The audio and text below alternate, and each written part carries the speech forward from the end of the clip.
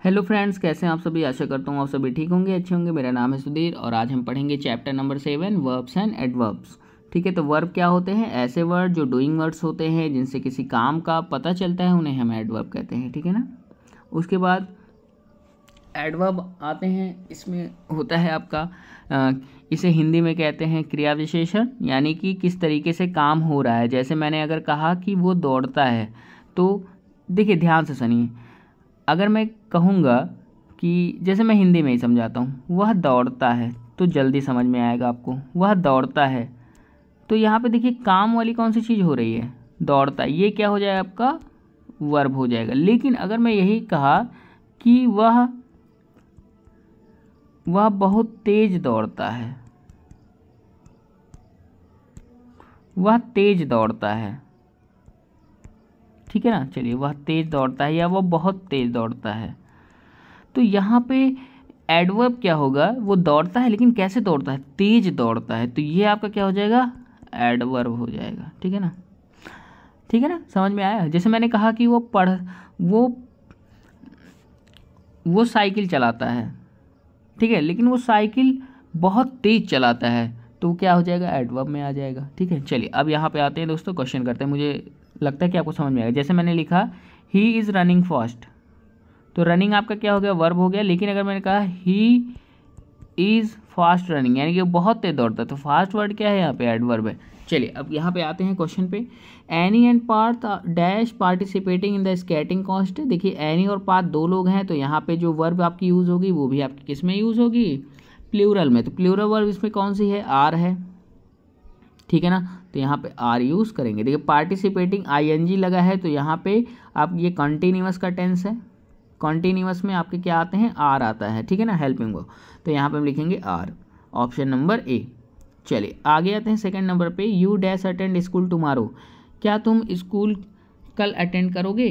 ठीक है ना? यू मस्ट यानी कि आपको मस्ट का मतलब होता है कि ये काम कंपलसरी है, आपको करना ही करना है। तो आपको कल स्कूल अटेंड करना ही है। ठीक है, चलिए। थर्ड नंबर पे आते हैं। Simran dash recite the poem to the class यानी कि जो सिमरन लड़की है, वो पोएम सुनाएगी स्कूल में। कब? कल सुनाएगी। तो जब फ्यूचर की बात होती है, यानी कि कल सुनाएगी। जब कल आएगा, तब सुनाएगी। तो ये फ्यूचर की बात हो रही है। तो फ्यूचर की बात जब होती है तो ये फ्यूचर टेंस में आता है और यहाँ पे हेल्पिंग वर्ग यूज़ होता है क्या आपका विल ठीक है?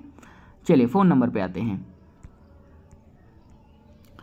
He dash be punished for destroying my order अगर वो डिसोबे करता है, यानी कि अगर वो मेरे ऑर्डर्स को नहीं मानता है तो उसे पनिश कर दिया जाएगा, उसे मारा जाएगा। तो ये बात आगे के लिए हो रही है कि अगर वो मेरी परमिशन नहीं माने मतलब आगे जब वो कभी नहीं मानेगा, क्योंकि पीछे तो मानेगा नहीं, पीछे जो हो गया हो गया। अब आगे अगर वो डिसोबे करता है, बात नहीं मानता है तो उसको पनिशमेंट मिलेगी। तो ये भी फ्यूचर की बात हो रही है। तो यहाँ पे फ्यूचर के लिए कौन सा यूज़ करते हैं, दोस्तों? विल यूज़ करते हैं। ठीक है? चलिए फाइव नंबर पर आते हैं। You have been a good boy today ठीक है? तो देखिए, यहाँ पे जब बीन यूज़ होता है तो बीन के साथ हम दो वर्ड्स एडवर्ब यूज़ दो हेल्पिंग वर्ब यूज़ करते हैं. हैज़ हैव और हैड ठीक है? तो यहाँ पे हैज़ हैव है ही नहीं. क्या है? सॉरी हैज़ और हैड है नहीं. तो यहाँ पे क्या हैव तो यहाँ पे लिखेंगे हैव ऑप्शन नंबर बी चलिए, इतनी चीज़ें हो गई. बी नंबर पे आते हैं. Fill in the blanks using the correct form of the verb make meaningful sentence तो यहाँ पे है एग्ज़ाम्पल पहले ये समझ लेते हैं, Rani dash her teeth twice a day यानी कि रानी जो है अपने तीत को दो बार ब्रश करती है तो यहाँ पे क्या होगा? ब्रशेस वर्ड होगा, ठीक है ना? दो बार करती है तो प्लूरल भी यहाँ पे आएगा। सिक्स नंबर है somebody dash the window panes of my house तो देखो विंडो पैंस जो है, किसी ने ब्रोक कर दिए हैं तो यहाँ पे सम बडी जो है, ये आपका नाउन है तो इसके हिसाब से जो यहाँ पे वर्ब आएगा, ये आएगा आपका ब्रोक यानी कि किसी ने क्या किया? तोड़ दिया। फिर seven number, Garima was dash snacks for the party तो गरिमा क्या कर रही है? स्नैक्स बना रही है पार्टी के लिए। तो यहाँ पे क्या लिखेंगे? प्रिपेयरिंग मतलब कि बना ही रही है। ठीक है ना? कॉन्टीन्यूस टेंस में ये आएगा। चलिए, ये आपका पास्ट में पास्ट कॉन्टीन्यूस में आएगा क्योंकि वॉज़ लगा हुआ है। ठीक है, चलिए एट नंबर पे आते हैं। एट नंबर क्वेश्चन हमारा क्या कह रहा है? He dash his lunch quickly this afternoon ठीक है ना? जैसे आफ्टरनून में क्या होता है, दोपहर में वो अपना जो लंच है, पुरानी बात हो रही है तो यहाँ पे जो आपका वर्ब आएगा वो पास्ट फॉर्म में आएगा। तो जैसे ईट का पास्ट फॉर्म क्या होता है? ईट एट एट तो यहाँ पे क्या आएगा? ऑप्शन नंबर डी एट ठीक है ना? क्योंकि दोपहर की बात हो रही है। तो मान लीजिए आज शाम की बात है तो उन्होंने बताया कि वो दोपहर में अपना लंच बहुत तेज़ी से खा लिया। ठीक है ना? तो यहाँ पे पास्ट की बात हो गई तो पास्ट की बात के लिए हम क्या यूज़ करते हैं? सेकेंड फॉर्म यूज़ करते हैं वर्ब की तो एट ईट का सेकेंड फॉर्म क्या हो जाएगा? एट यानी कि ऑप्शन नंबर डी चलिए तो यहाँ पे हमने इसको कर लिया है। नाइन नंबर पे आते हैं I dash my extremely expensive necklace last month तो मेरा जो नेकलेस था, वो मैंने क्या किया? खो दिया। तो यहाँ पे हम क्या यूज़ करेंगे? लॉस्ट वर्ड ठीक है ना? क्या यूज़ करेंगे? लॉस्ट फिर आते हैं टेन पे टेन पे लिखेंगे Sumit dash hard and the dash best prize. तो जो सुमित है, वो मेहनत कर रहा था कैसा? वर्क हार्ड, यानी पुरानी बात हो तो work hard and got first prize और इसे क्या मिला? फ़र्स्ट प्राइज़ मिला। ठीक है, चलिए, आगे आते हैं क्वेश्चन नंबर इलेवन पे। क्वेश्चन नंबर इलेवन हमारा क्या कर रहा है? This is the teacher who also dash my father when he was young यानी कि जब ये जो टीचर हैं, ये जब मेरे पापा यंग थे तो उनको भी पढ़ाते थे, ठीक है? तो यहाँ पे हम क्या भरेंगे? टॉट, ठीक है ना? क्या भरेंगे? टॉट पढ़ेंगे। क्यों भरेंगे? क्योंकि टीचिंग देखिए, टीच जो होता है, पुरानी बात हो रही है ना कि अपने पापा को भी पढ़ाते तो टीच का सेकंड फॉर्म क्या होता है? Taught. T A U G H T taught. तो यहाँ पे सेकंड फॉर्म यूज़ होगा तो यहाँ पे भरेंगे। A option, taught. फिर है twelve number who dash annual function yesterday तो या एस्टरडे का मतलब ये होता है, जो टाइम बीत चुका है, पुरानी बात हो रही है तो यहाँ भी अटेंड का सेकंड फॉर्म क्या होता है? अटेंडेंट अटेंडेंट तो ऑप्शन नंबर बी इसमें क्या हो जाएगा? करेक्ट हो जाएगा. फिर है thirteen number we dash football game yesterday यानी कि हम क्या कर रहे थे? एस्टरडे यानी कि कल की बात हो रही है, पुरानी बात, और मैच देख रहे थे तो वॉच का सेकेंड फॉर्म क्या होता है? वॉच डो होता है. तो यहाँ पे हो जाएगा ऑप्शन नंबर डी ठीक है? चलिए. फोर्टी नंबर है आपके सामने, Sumit is dash in the park तो सुमित क्या है? पार्क में और वो क्या कर रहा है? एक्सरसाइजिंग कर रहा है मतलब कर ही रहा है। तो यहाँ पे आई फॉर्म आएगा, यानी कि अभी कर ही रहा है, ठीक है? अब देखिए इज़ लिखा भी हुआ है तो ये आपका किसमें आएगा? कॉन्टीन्यूस टेंस में आएगा, और साथ ही साथ अगर वो काम उस टाइम तक हो ही रहा है मतलब वो एक्सरसाइज कर रहा है तो आई के साथ आता है, ठीक है? चलिए, अब फिफ्टी नंबर पे आते हैं। My father dash a heavy box यानी कि मेरे पापा जो हैं, वो एक हैवी बॉक्स क्या किए थे? उठा लिए तो यहाँ पे क्या होगा? लिफ्टेड यानी कि जैसे आप किसी से बता रहे हैं तो बात पुरानी हो गई कि आपके पापा ने उठाया था। तो आप जो उठाया होगा तभी ना आप किसी से बताएँगे तो यानी कि वो काम पहले हो चुका है तो आप क्या लिखेंगे? लिफ्ट का सेकेंड फॉर्म लगाएँगे लिफ्टेड ठीक है ना? कि उठाया था। चलिए, अब आगे आते हैं सी नंबर पे। सी नंबर हमारा क्या है? द मोस्ट सुटेबल एडवर्ब यहाँ पे भरना है हमें। जैसे have you seen my dog anywhere या कहीं भी आपने मेरे डॉग को देखा, ठीक है? तो यहाँ पे क्या यूज़ होगा? एनी वेयर अब यहाँ पे आते हैं sixteen number our music teacher was dash lost in the thoughts यानी कि जो हमारी म्यूज़िक टीचर है, वो जनरली यानी कि मैक्सिमम टाइम वो कहाँ पे खो जाती हैं? अपने विचारों में खो जाती हैं, अपने थॉट्स में, अपने सोच में खो जाती हैं। तो यहाँ पे यूज़ होगा जनरली जनरली उसे कहते हैं, जैसे बार बार कोई चीज़ आम बात हो जाती है होना तो उसे जनरली कहते हैं। We have dash time to relax and enjoy ठीक है ना? तो यहाँ पे क्या लिखेंगे दोस्तों? इनफ यानी कि हमारे पास पर्याप्त टाइम है, हमारे पास ज़्यादा टाइम है, कोई दिक्कत नहीं है टाइम की, और हम क्या करेंगे? आराम से रिलैक्स करेंगे और इन्जॉय करेंगे। ठीक है? एटी नंबर क्वेश्चन है। We were dash tired after the trekking तो हम जब ट्रैकिंग का मतलब क्या होता है? जब हम माउंटेन्स पे जाते हैं और वहाँ पे चलते जाते हैं माउंटेन्स पे, घूमते हैं, पैदल तो उसे ट्रैकिंग कहते हैं। तो यहाँ पे हम क्या करेंगे? देखिए, जैसे आप यहाँ पे टायर्ड यानी कि बहुत थक चुके हैं, ठीक है ना? तो यहाँ पे जो एडवर्ब यूज़ होगा, वो यूज़ होगा आपका टू टू का मतलब क्या कि आप बहुत ज़्यादा थक गए हैं, ठीक है ना? जैसे एक थकना होता है, लेकिन जब हम टू का यूज़ कर देते तो आप बहुत ज़्यादा थक जाते हैं। और माउंटेन्स पर चढ़ने के बाद आप ज़ाहिर सी बात है कि बहुत ज़्यादा थक जाएँगे। नाइनटीन नंबर है, मैं फादर रीड द न्यूज़पेपर। तो मैं, मेरे पापा जो है, न्यूज़पेपर पढ़ते हैं कब? डेली पढ़ते हैं तो यहाँ पे क्या यूज़ होगा? डेली। फिर है Heetal and I dash see each other these days तो क्या होगा यहाँ पे? रेयरली का मतलब ये होता है कि कभी कभार हम मिलते हैं। ठीक है ना? क्या है? कभी कभार हम मिलते हैं। ठीक है ना? चलिए ट्वेंटी वन नंबर पे आते हैं। Dash could I find the racket which my sister are hidden ठीक है ना?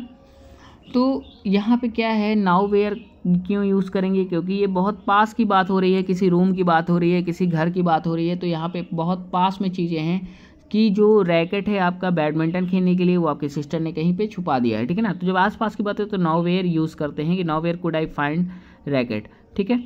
अब आते हैं ट्वेंटी टू में the food is dash stale stale का मतलब होता है बासी, ठीक है ना? तो यहाँ पे क्या यूज़ करेंगे दोस्तों? यहाँ पे हम यूज़ करेंगे रेयरली क्या यूज़ करेंगे? रेयरली ठीक है ना? यानी कि जो खाना है वो क्या है? बासी है, इसलिए इसे मत खाओ. ट्वेंटी थ्री नंबर है। I I went dash a watch a movie ठीक है ना? तो आप मूवी देखने के लिए कहाँ जाएँगे? अगर आप ऊपर जा रहे हैं मतलब कमरे में जा रहे हैं, सीढ़ियों पे चढ़ के तो इसे हम लिखते हैं, अप स्टेयर और आप सीढ़ी से नीचे आ रहे हैं तो उसे कहते हैं, डाउन स्टेयर्स. तो यहाँ पे कहाँ जाएँगे आप? अप स्टेयर यानी कि सीढ़ियों पे चढ़ के जाएँगे और क्या देखेंगे? मूवी देखेंगे। अब यहाँ पे है twenty four number, Ashish and his mother will be leaving for Chandigarh.